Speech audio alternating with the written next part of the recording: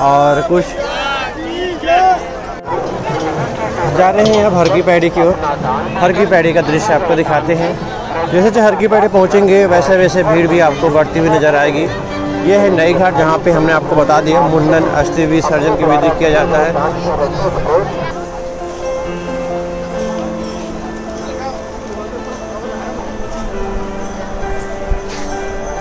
हम जा रहे हैं अब मात्र कुछ ही दूर पे हर की पैड़ी है। और ये जो है मालवी घाट है। यहाँ पे भीड़ तो आपने देखा ही होगा, हर एक वीडियो में आपको दिखाई देती होगी भीड़, क्योंकि ये प्रमुख घाट के साथ साथ यहाँ पे काफ़ी अच्छे ऑप्शन मिल जाते हैं चेंज रूम के। देख रहे हैं माँ गंगा की बहती जल की धारा यहाँ पे कितनी तेज़ है। देख रहे हैं। और ऊपर धनुष सेतु पे चल रहे बंदरों का दृश्य देख रहे हैं।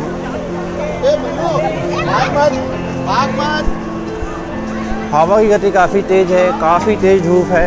देख रहे हैं, तेज़ काफ़ी धूप है और गर्मी काफ़ी ज़्यादा लग रहा है। सुबह सुबह देख रहे हैं, छाता लिए हुए हैं अभी सा सुबह के आठ बज के तीस मिनट हुए हैं और लोग छाँव की तलाश में यहाँ पे बैठे हुए हैं। यहाँ पे डिस्प्ले उसका छाँव यहाँ पे है तो यहाँ पे कुछ लोग बैठे हुए हैं। देख रहे हैं।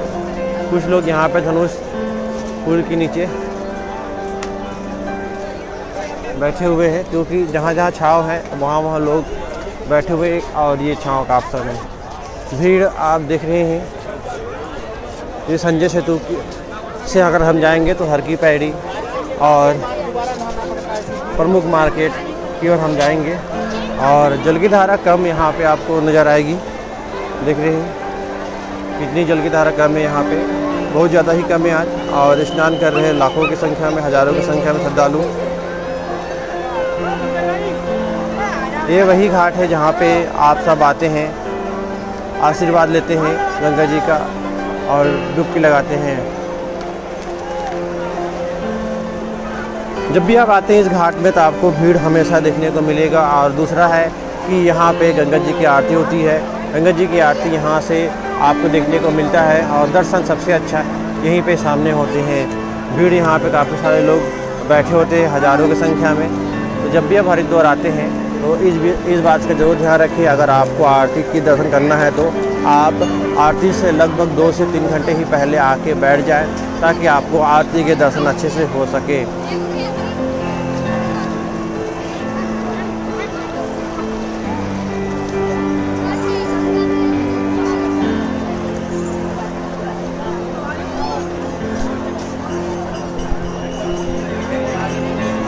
अभी हम चल रहे हैं ऊपर की ओर, पहले चलेंगे ऊपर, फिर हम आएँगे घाटों पे, घाटों दृश्य दिखाएँगे आपको। ये हम आ चुके हैं संजय सेतु में। यहाँ से आप दो घाटों का दृश्य देखेंगे। एक तो नई घाट, उल्टे हाथ में, और एक है प्रमुख घाट, हर की पैड़ी। तो पहले हम आपको नए घाट दिखाते हैं। देख रहे हैं नए घाट का दृश्य।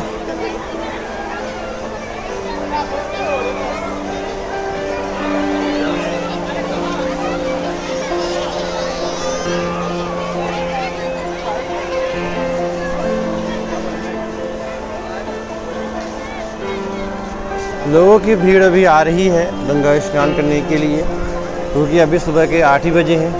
तो ज़ाहिर सी बात है, यहाँ पे लोगों की संख्या करीबन 11 से 12 बजे तक आती है। अब धूप हो रहा है तो लोगों की संख्या केवल 9 या 10 बजे तक ही आएगी क्योंकि तेज़ धूप से राहत मिल जाएगा। और आप सब भी अगर आ रहे हैं तो आप सुबह सुबह ही गंगा स्नान कर लीजिएगा, क्योंकि 11-12 बजे काफ़ी तेज़ धूप होती है।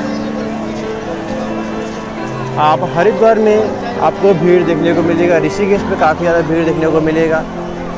देख रहे हैं, लोग कितने गहरे जल में जाके स्नान कर रहे हैं। जब जब जल की धारा कम होती है लोगों की संख्या आपको दिखाई देगी गहरे जल पर स्नान करते हुए।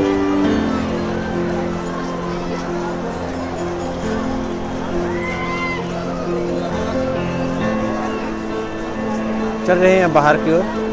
बाहर का दृश्य आपको दिखाते हैं। ये मिली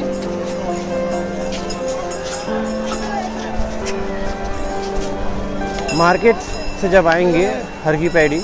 तो आपको मार्केट से अगर ई रिक्शे में आते हैं तो सामने ही आपको ई रिक्शे ड्रॉप करेंगे। अभी हम आपको दिखाते हैं कहाँ पे ई रिक्शा ड्रॉप करेंगे। अगर रेलवे स्टेशन से आ रहे हैं, बस स्टैंड से आ रहे हैं, और भीड़ कम है, या फिर आप सुबह सुबह आ रहे हैं तो आपको आठ बजे तक तो गाड़ी मिल जाएगी, पूरे घाट तक आपको। अगर आप आठ बजे के बाद आते हैं तो आपको भीड़ ज़्यादा है तो आपको पैदल ही आना पड़ेगा, लगभग एक किलोमीटर।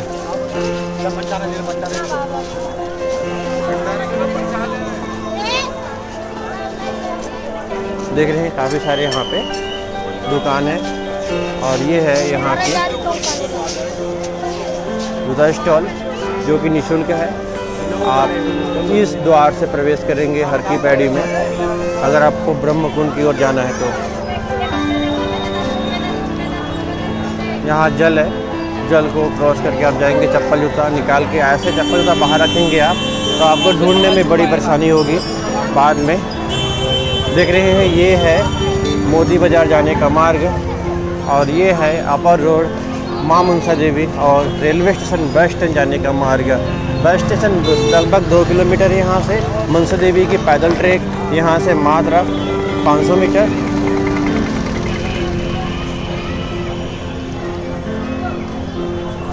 देख रहे हैं, यहाँ पे यही है वो ई रिक्शे जो आपको घाट तक ड्रॉप करेंगे।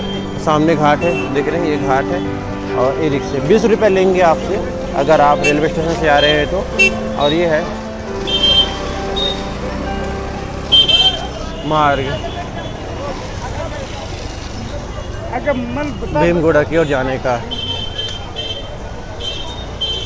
काफ़ी सारे दुकान आपको सुबह सुबह ही सजे हुए नज़र आएँगे।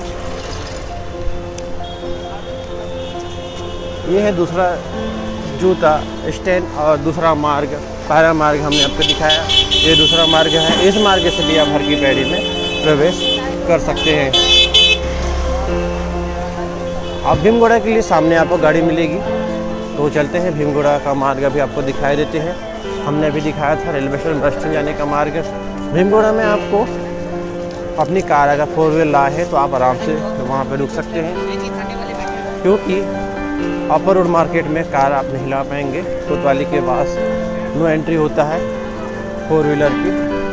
और जब भीड़ ज़्यादा होता टू टू व्हीलर भी नहीं आ पाता यहाँ पे लंगर लगता है, करीबन साढ़े नौ बजे।